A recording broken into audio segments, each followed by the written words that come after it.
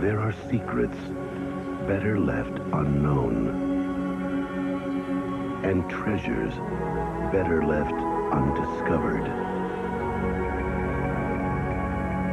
In 1995, a scientific expedition found something that transforms myths into nightmares.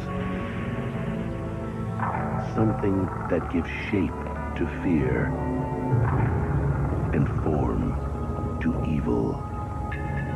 Something as powerful as it is deadly.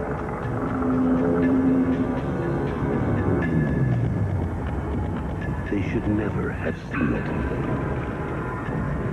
They should never have touched it. And then they did the unthinkable. they brought it back.